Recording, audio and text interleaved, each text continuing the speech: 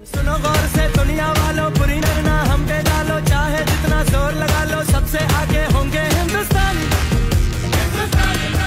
हमने कहा